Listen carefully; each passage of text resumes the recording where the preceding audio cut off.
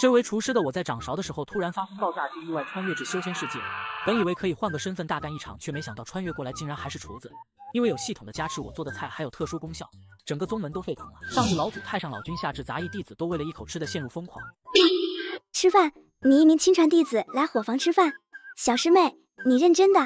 二师姐，你可不要小看梁城师弟哦，他的手艺可好了。陆悠悠和柳霜两人都是早已辟谷的，谁能想到有朝一日陆悠悠居然还会被人勾起口舌之欲？这让柳霜不自觉地将目光看向梁城。这小子到底有什么本事？除了长得帅点，其他一无是处。小师妹别闹，和我回去。师傅还在等你。不，我一定要吃完再走。两人的对话丝毫没有引起在场众多弟子的在意，即便柳霜自己都说了陆悠悠是亲传弟子，可众人眼里此刻只有干饭管你什么亲传弟子。陆师姐，你若是有事就先去吧，可不要让峰主他老人家久等了。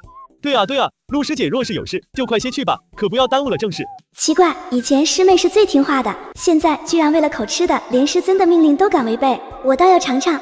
罢了，既如此，我陪你吃完一起回去。可以呀，不过师姐要排队。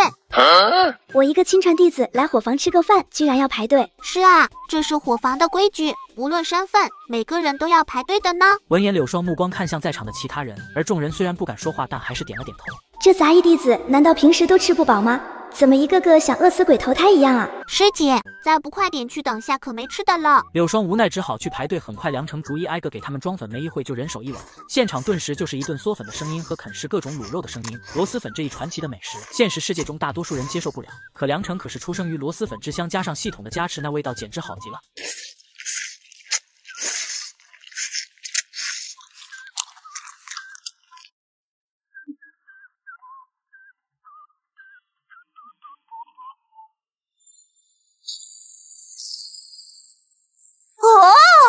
好吃，真是太好吃了！师妹，这叫什么粉？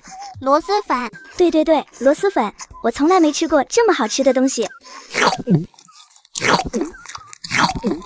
哦，不知粉好吃，这个猪蹄也太爽了吧！一口下去，满满的胶原蛋白，加上汤汁，真是太棒了。哦，这鸭脚也是太棒了，一口咬下去，汤汁和脱骨的鸭脚充分的混合在嘴里，这美味的滋味真是无与伦比啊！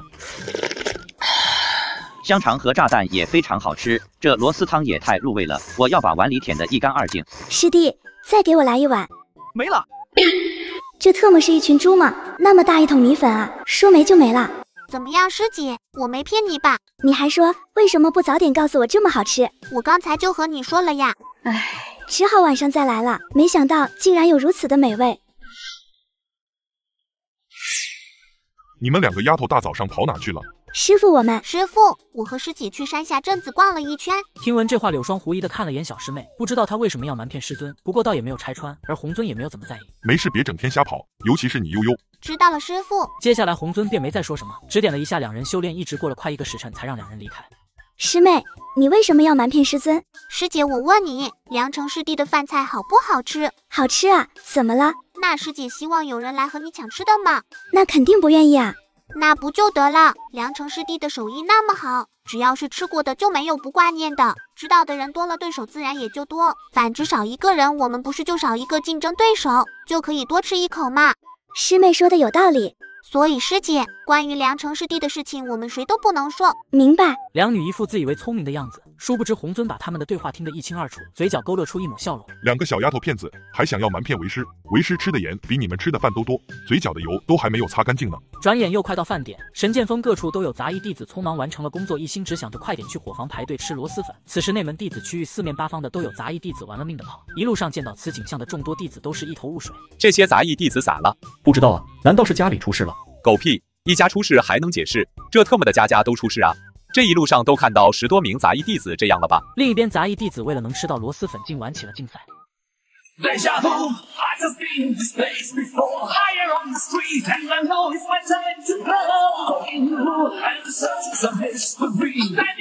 你特么跑慢点啊！我跟不上了。跟不上那就歇着吧，放心，你的那份我帮你吃了。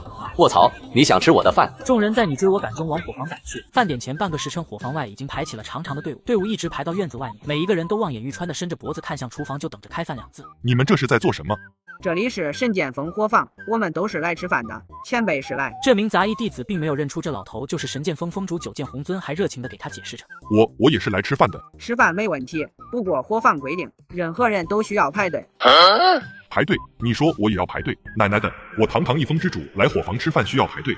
看到那两位师姐了吗？他们可是亲传弟子，但也要遵守伙房规矩。所以欠呗闻言，红尊倒是不怎么在意，随即便老老实实的排在众多杂役弟子身后。前方的弟子一个个摩拳擦掌，恨不得将手中的大碗换成盆，一个个添粉那都是要堆得满满的，直到再也装不下才肯作罢。而这样的举动，看在身后众人眼里，那叫一个心急如焚。我靠，陈大牛你够了啊，差不多行了，给后面的兄弟留点啊。话是这样说，可当到了他们的时候，每一个人那都是咬紧了牙的加粉，压了又压，就为了能够多装点。就连陆悠悠和柳霜也是如此，看着柳霜一副愤愤不平的将粉压平了又添，然后又压，梁成都忍不住道：“师姐，这粉是和你有仇？不是，只是师姐饭量大，这碗太小了。这碗怕是有你头大了吧，还嫌小？”整整一刻钟后，好不容易排到了红尊，这老头的胡子早就已经被口水给完全打湿了，胸口衣服也是湿了大片，冒着绿光的眼睛仿佛是一头饿狼，死死盯着那一盆卤肉。而他也是直接动用灵力将粉压了又压，眼看米粉都快被他装完了，此时陆悠悠开口道。师尊，打饭不能动用灵力的，坏了规矩。随着陆悠悠的话音落下，在场众多弟子也是纷纷抬头。亲传弟子的师尊，那不就是神剑峰峰主吗？这等大人物居然和他们在一起吃饭。不过当看到红尊桌上的米粉时，众人眼睛瞬间红了。好家伙，这特么是打了多少啊？嘿嘿，情不自禁，情不自禁。红尊说罢，随即收敛了灵力，但依旧从盆中舀了一大勺的卤肉和各类调料浇上，而后大步来到陆悠悠和柳霜面前，毫无形象的大口吃了起来。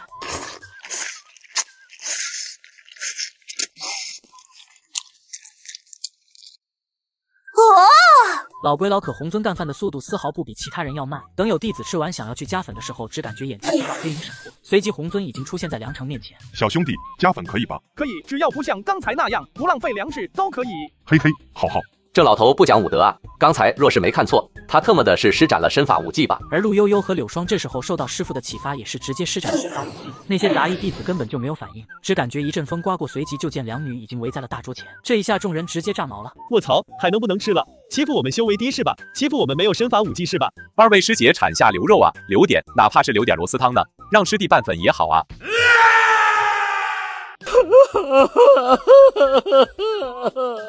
老天啊，为何你如此不公啊？两位师姐手下留情啊！我上有八十的老爹老母，还等着我这碗螺蛳粉呢，孩子嗷嗷待哺啊！